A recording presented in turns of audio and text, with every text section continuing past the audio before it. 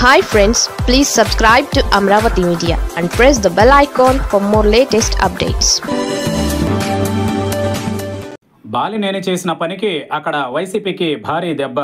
ఒంగోలు జిల్లాలో వైసీపీ చాలా స్ట్రాంగ్గా ఉంటుంది. కాంగ్రెస్ నాటి నుంచి వైసీపీ వరకు ఆ పార్టీకి నాయకత్వ సమస్య లేదు. కేడర్ పుష్కలంగా ఉంది. ఎందుకంటే ఒంగోలు పార్లమెంటు నియోజకవర్గంలో అత్యధిక నియోజకవర్గాలు ఇప్పుడు వైసీపీ ఖాతాలోనే పడేవి. ఎక్కువ రెడ్డి సామాజిక వర్గం ఉండడంతో పాటు ఎస్సీ ఎస్టీ మైనారిటీలు పార్టీకి కొంత అండగా ఉండడంతో మొన్నటి ఎన్నికల వరకు వైసీపీకి తిరిగి లేకుండా ఉంది. అయితే మొన్నటి ఎన్నికలలో రాష్ట్రం మొత్తం మీద షాక్ ఇచ్చినట్లుగానే ప్రకాశం జిల్లాలోనూ వైసీపీకి జనాలు షాక్ ఇచ్చారు. ఇక వైసీపీకి జిల్లా పెద్ద బాలినేని శ్రీనివాసరెడ్డి అధికారంలో ఉన్నా లేకపోయినా బాలినేని ఒక్కడే ఒంటి చేతితో పార్టీని నడిపించేవారు. కానీ మొన్నటి ఎన్నికలలో ఓటమి తరువాత బాలినేని శ్రీనివాసరెడ్డి పూర్తిగా చేతులెత్తేశారు. ఒంగోలు ప్రాంతాన్ని పూర్తిగా పట్టించుకోకుండా ఆయన ఎక్కువగా హైదరాబాద్కే పరిమితమయ్యారు. బాలినేని శ్రీనివాసరెడ్డి అధికారంలో ఉన్నప్పుడు కూడా ప్రజలకు అందుబాటులో ఉండేవారు కారన్న విమర్శలు వినిపించాయి. అయినా సరే బాలినేని శ్రీనివాసరెడ్డి ఒంగోలు శాసనసభ నియోజకవర్గం నుంచి ఐదు సార్లు ఎమ్మెల్యేగా విజయం సాధించారు. అలా ఒంగోలు అంటే బాలినేని కేర్ ఆఫ్ అడ్రస్గా మారిపోయారు.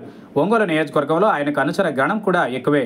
పార్టీ అధికారంలోకి వస్తే ఖచ్చితంగా మంత్రి పదవి దక్కే వారిలో బాలినేని ఒకరు. కానీ తాజాగా ఒంగోలులో వైసీపీ ఖాళీ అయింది. ఒంగోలు కార్పొరేషన్లో వైసీపీకి గట్టి దెబ్బ తగిలింది. పన్నెండు మంది కార్పొరేటర్లు వైసీపీని వీడి టీడీపీలో చేరారు. నగర మేయర్ సుజాతతో పాటు పన్నెండు మంది కార్పొరేటర్లు టీడీపీ తీర్థం పుచ్చుకున్నారు అంతకుముందు ఎనిమిది మంది వైసీపీ కార్పొరేటర్లు టీడీపీలో చేరారు. దీంతో ఒంగోలు కార్పొరేషన్ వైసీపీకి చేజారిపోయింది. టీడీపీ పరమైంది. గత కొన్నాళ్ళ నుంచి దామచర్ల జనార్దన్తో వైసీపీ కార్పొరేటర్లు చర్చలు జరుపుతున్నారు. ఈ విషయం బాలినేని శ్రీనివాసరెడ్డికి తెలుసు. కానీ వారిని నిలవరించే ప్రయత్నం ఆయన చేయకపోవడానికి కారణాలపై పార్టీ హైకమాండ్ కూడా ఆరా తీస్తోంది. వైసీపీ అధికారంలోకి వచ్చిన తరువాత రెండవసారి మంత్రివర్గ విస్తరణలో పదవి కోల్పోవడంతో బాలినేని శ్రీనివాసరెడ్డి అసంతృప్తితో విన్నారు. ఆయన ప్రతిదానికి హైకమాండ్తో నేరుగా తలపడేవారు.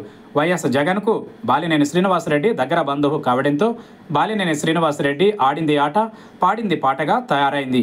కానీ ఓటమి తర్వాత కూడా నేతలను కనీసం దగ్గరకు తీసుకోకపోవడం నిర్వేదంలోకి వెళ్ళిపోవడం ఒంగోలుకు దూరంగా ఉండడం వంటి కారణాలతో అక్కడ పార్టీకి ఇబ్బందులు తెచ్చిపెట్టాయంటున్నారు బాలినేని శ్రీనివాసరెడ్డి స్వయం కృతాపరాధంతోనే ఈ పరిస్థితికి తీసుకువచ్చారంటున్నారు పార్టీ అగ్రనేతలు.